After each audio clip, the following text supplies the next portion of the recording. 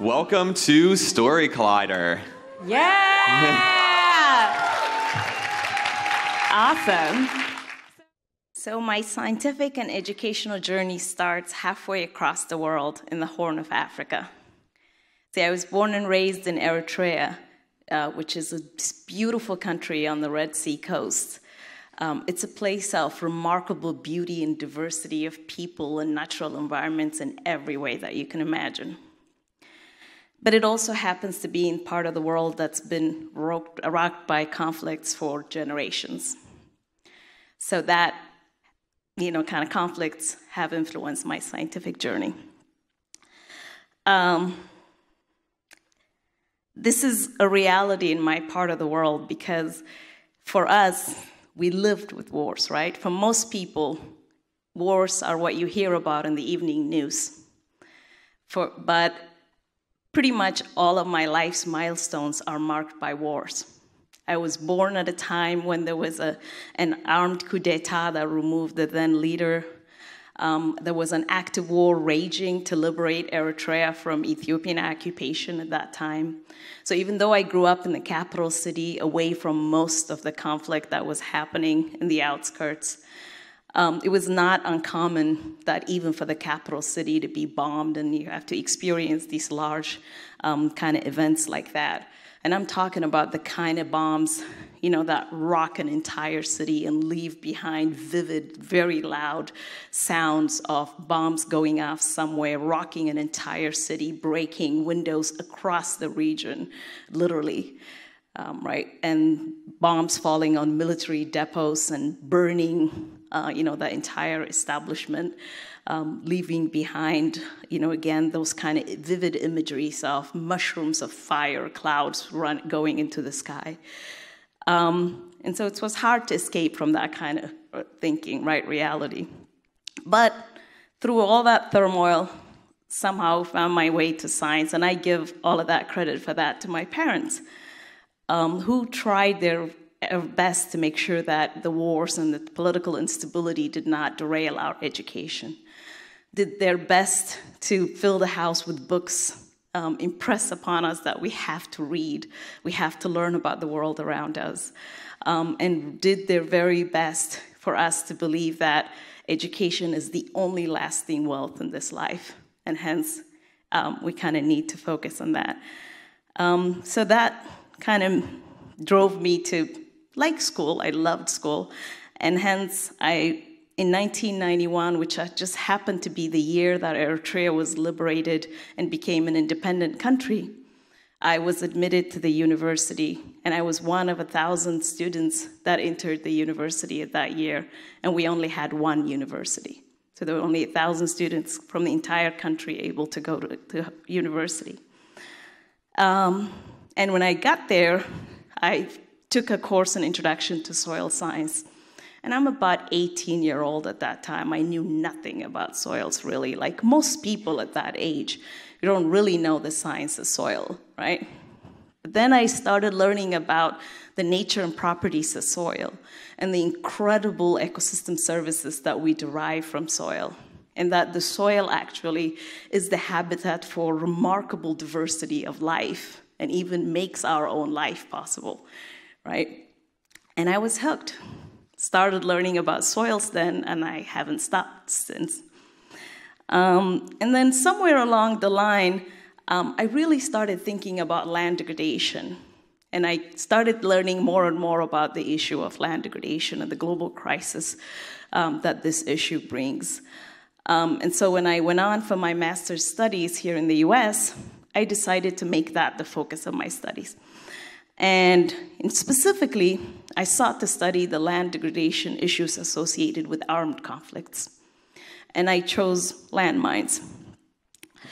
Um, and these two issues, mind you, are not necessarily always discussed together, right?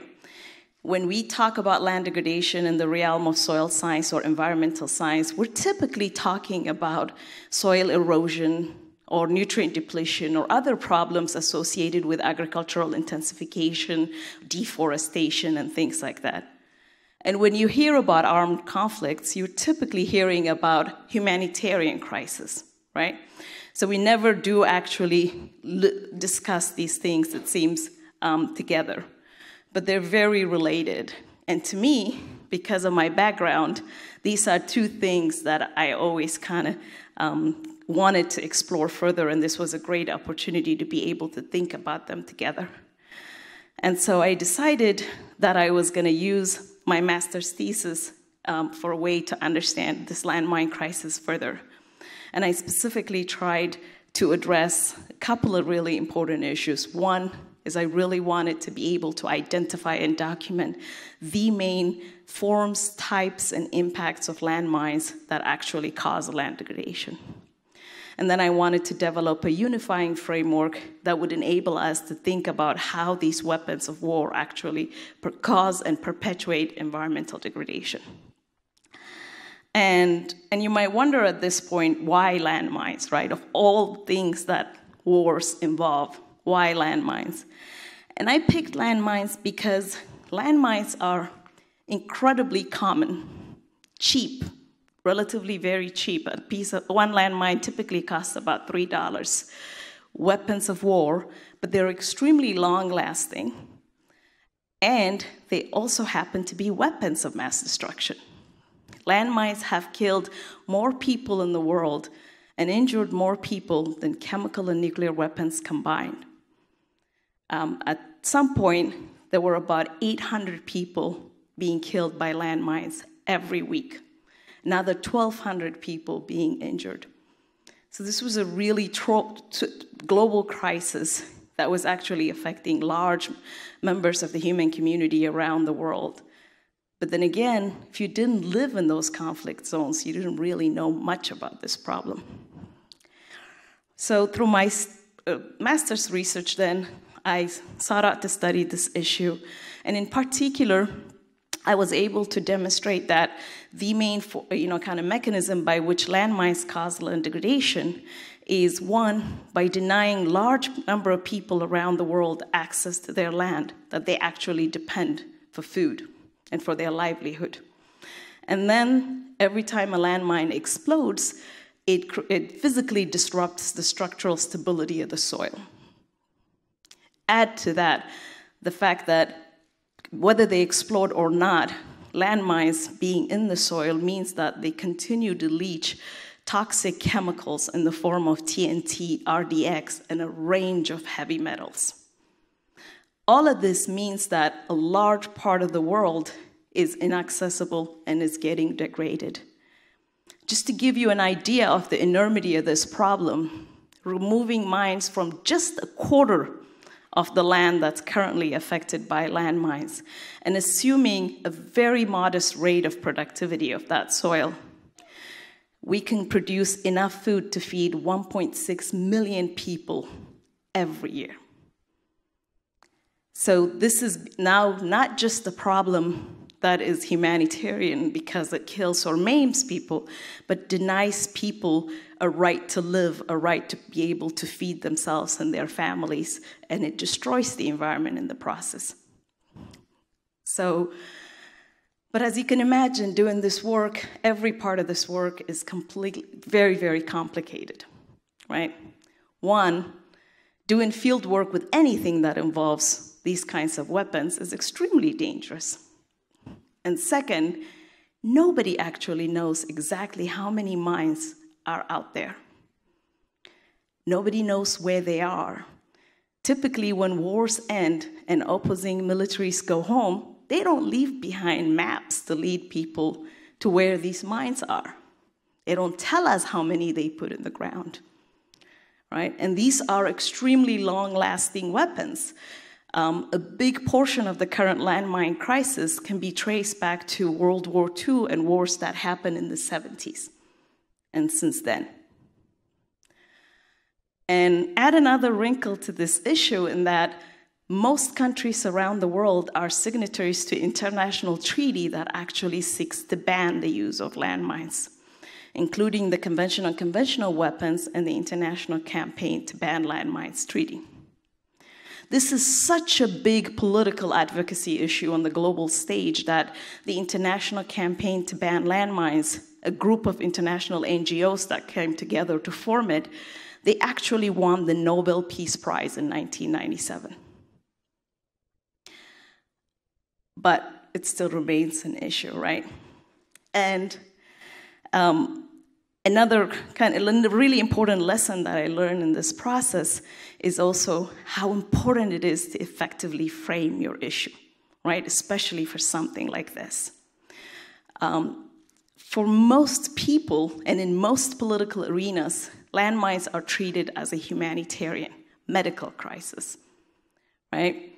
Um, and that's because it's extremely effective to be able to use this kind of humanitarian framework because it allows people that are so far removed from the problem to be able to empathize with the victims and hopefully be compelled to action, right? The kind of image that you all would have gotten when I started talking about landmines and their damage is probably something like head of a household being killed by mines, right? Or a kid playing in the field whose legs get, get blown away, and then he or she having to live the rest of their life as an amputee. Those are extremely horrifying and very, very powerful images, right? Those kind of issues and frameworks compel people to action. But, the, but you kind of, when you see it from the filter of an environmental scientist, though, as horrifying as those, those images are, they don't even tell the whole story, right? There's a whole other set of the problem that's not getting international recognition or the kind of attention that it deserves because we are so fixated on this humanitarian framework. And hence, we're not actually recognizing the long term scourge that these weapons cause and the long term suffering of communities, the natural environment getting destroyed, and societal development also that suffers because of these landmines. All of those could have been captured from an environmental framework, though, right? So, as a scientist, then, when you're doing this kind of work, it's extremely frustrating, right? I have no control over the kind of political forces that shape these kind of frameworks and movement agendas. But at least doing the kind of work that I did, um, I found it to be consequential more than anything that I've ever done as a scientist because at least I'm able to convey a message of how these relatively cheap, easily accessible, very widely used weapons cause very long term environmental damage with significant consequences for societal and regional development. And I think this work remains as a somber reminder that the horrors of war are very, very long lasting and widespread. Thank you.